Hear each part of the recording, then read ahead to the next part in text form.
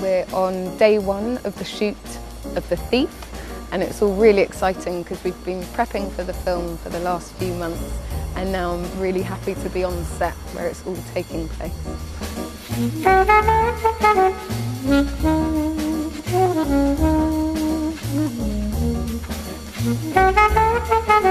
They was filming in an authentic, real jazz bar um, in Battersea. The jazz club scene with uh, Terence, who's playing the lead part, Edward.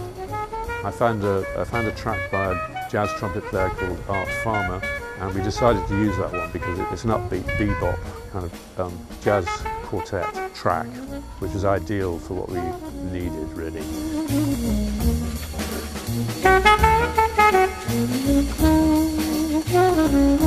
Collectively with the set and the costume, it gave it a kind of um, almost like a retro feel. Um, it had an element of 60s, 50s jazz.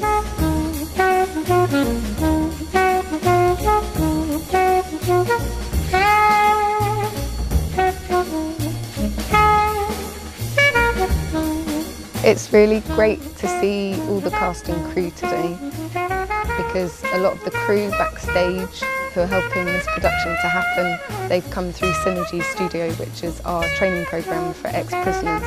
Synergy is a great um, company and the project they do, it, it gives opportunities to people who otherwise would not get the opportunity to work in theatre and films.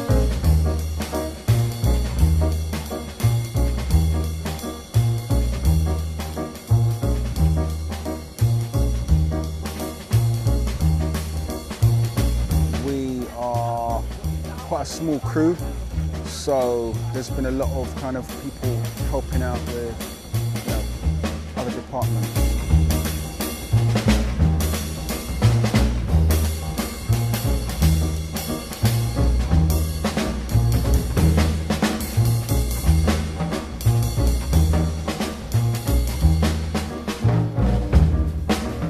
playing Nathan in the movie, who is uh, the, the protagonist, person who the script follows.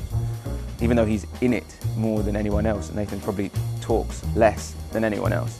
And but there's a lot of things. I mean, that's kind of part of his character. This kind of brooding, thoughtful, angry, intense, but kind of loving nature. And to kind of show all of that with just looks and and you know moments. When I, when I auditioned for it, it was really hard to audition because a lot of the scenes are just played out between two people looking at each other.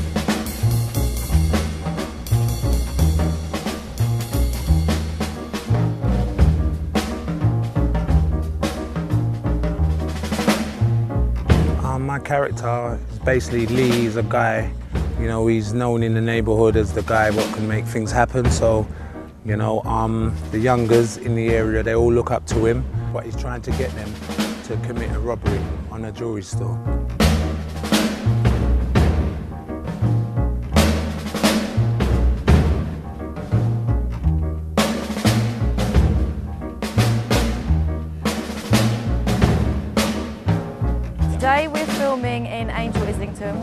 Robbery of a jeweller's, um, so it's completely different energy. This is kind of the urban street side of the film. We have got some ex-prisoners in there as well as uh, professional actors, so it's going to have a very different feeling to yesterday's.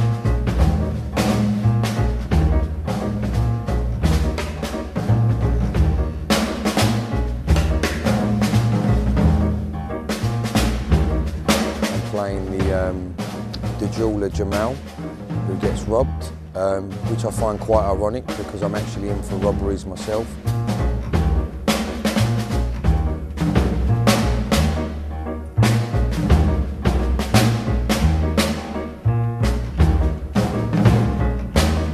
It's mostly, I'm doing it all handheld to give it a sort of gritty feel as much as possible to add to the drama uh, of, the of the different scenes.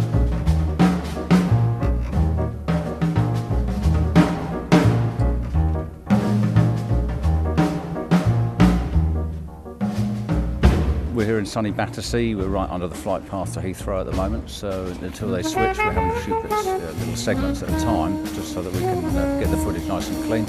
Yes, I love shooting in London with its airplanes and its helicopters and its bin trucks, drain cleaners.